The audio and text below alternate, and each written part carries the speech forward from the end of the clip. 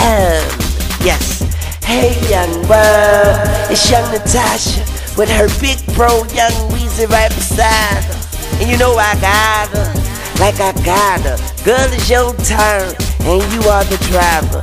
And whatever you lost, all you do is follow. The road signs lead you to a gold mine. How do I know? Because I just moved. Got a new crib on Gold Mine Avenue.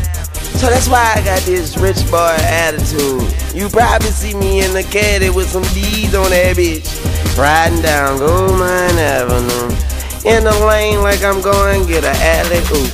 Oops, that was a coup. Pass your ass like light display. Cut that light down now and turn me to a dark child. My thoughts wow, my ideas are scattered, and we are young money, but age doesn't matter.